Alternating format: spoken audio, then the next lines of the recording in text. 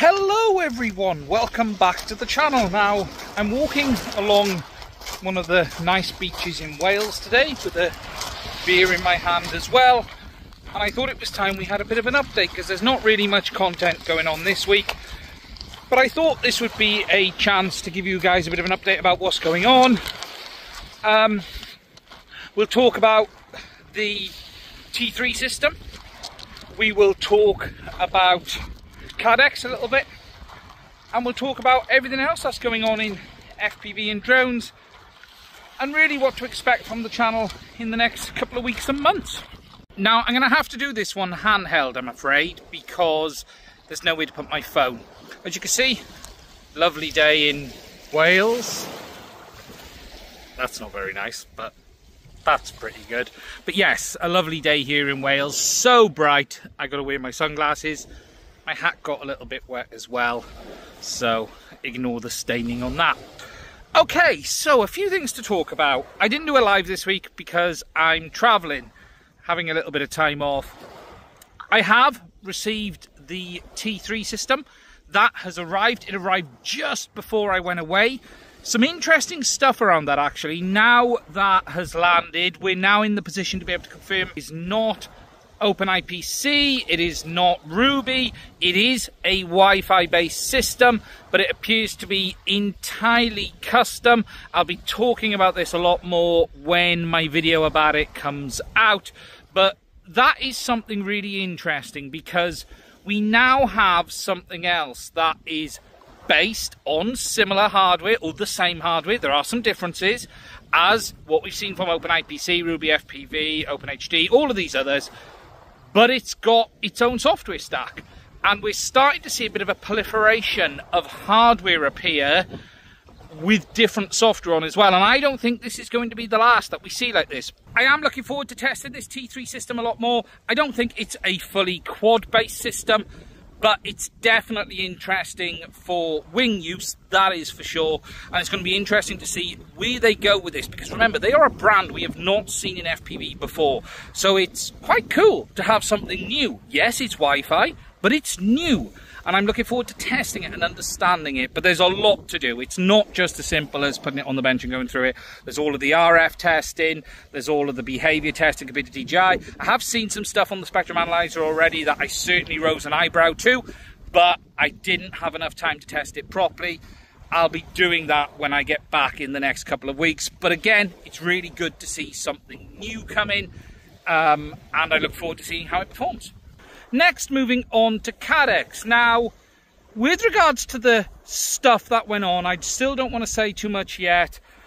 I'm still, as I understand it, under threat of legal action. I stand by everything that I said in that video. I believe everything I said in that video was fully true.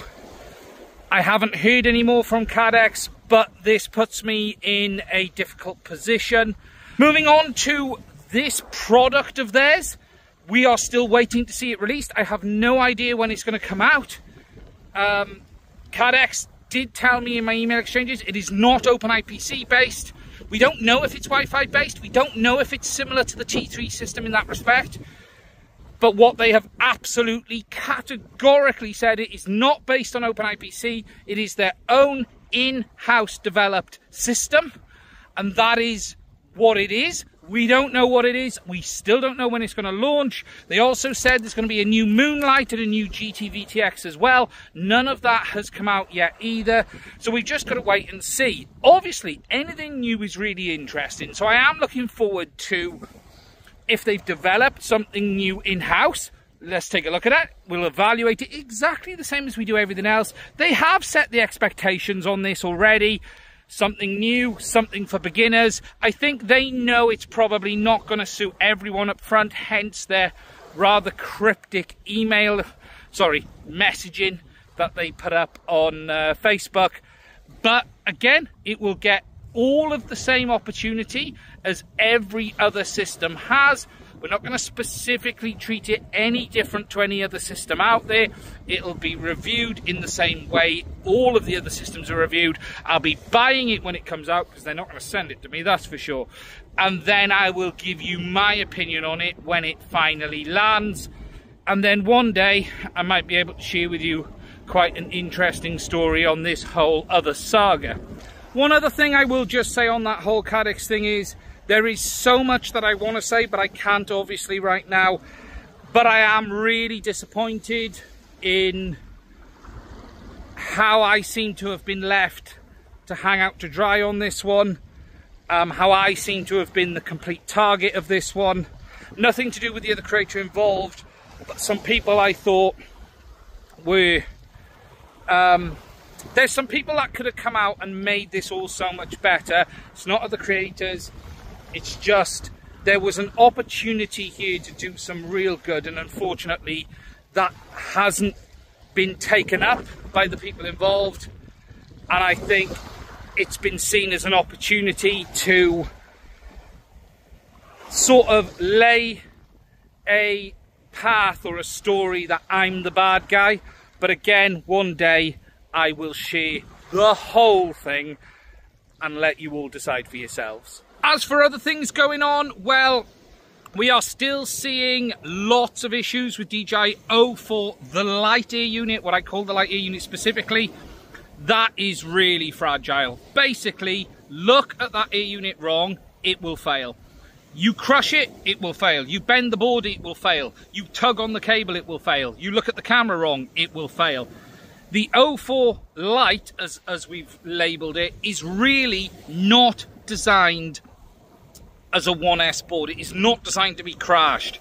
It is a lightweight board. It is a board that is going to allow you to put it in smaller, lighter platforms. But this isn't the holy grail 1S board that everyone hoped. And the reality is, it just cannot hold up to the punishment that a 1S board needs to be able to hold up to and we are just seeing so many people with issues.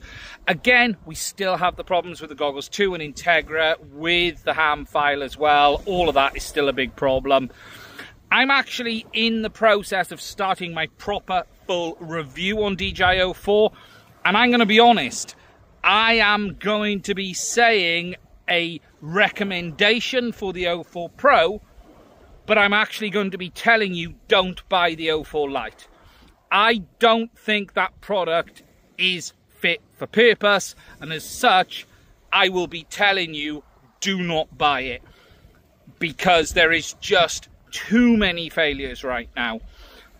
Unfortunately, I have to say how I feel, and that is how I feel on that board. Obviously, tariffs are hitting hard right now as well. And just something to be aware of, people are getting really slammed with import fees when getting products back, even from repair. There's a guy who bought, sorry, sent a, Mav a Mavic, I think it was, or it might have been an Avata, into DJI Repair. DJI have shipped it back to him via Canada, and he's now got a $1,200 bill for import duties. Now, I can't strictly blame DJI for this, but this is the kind of problems you face when you have tariffs like this that are introduced and you have these changes that come in. So just be careful. If you're returning a product for warranty in the US, be aware because you may have problems. Obviously, all of this is going to have a big effect on FPV. We don't know what the score is. We just don't know what this will all mean in the long term. All we can do right now is wait and see. Hold off is what I was saying with regards to buying stuff unless you absolutely have to. Obviously, if you have to, I think I'll start walking back this way. Obviously, if you have to buy it, you got to buy it. But um, unless you really need to buy it, I really would hold off and wait and see what happens. This is going to cause problems for FPV. We are in a state where things are uncertain. You're going to see product launches held back. I still don't know even know what's happening with the Caddx product launch. I haven't heard anything, I haven't seen anything.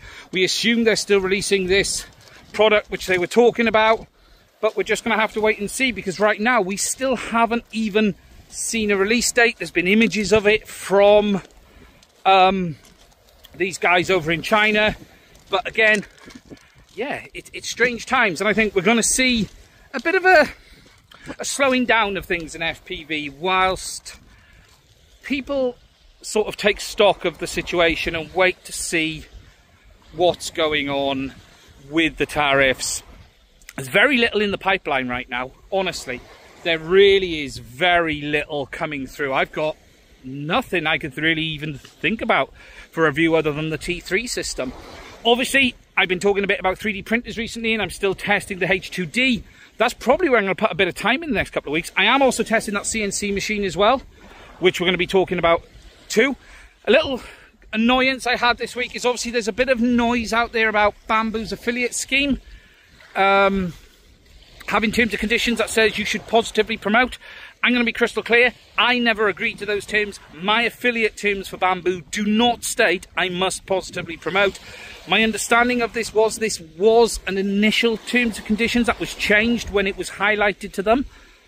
It was not ever rolled out to me.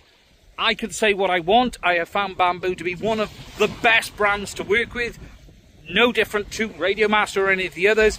I certainly have not agreed to something on Bambu that I wouldn't have agreed to on Caddx. I had someone criticise me and say, well, you kicked off about Caddx's terms, but Bambu say this. Just understand, my Bambu terms don't say that. My Bambu terms say I should just promote it in a manner that's truthful. And that's what I've agreed to, and that's why I have always said exactly what I think about their products and anyone else's. Anyway, that's my short update. I'm going to finish my beer. Stay safe. I will speak to you soon. A quick last look at this Welsh beach just before I go. Very nice indeed, especially with a beer. Bye-bye.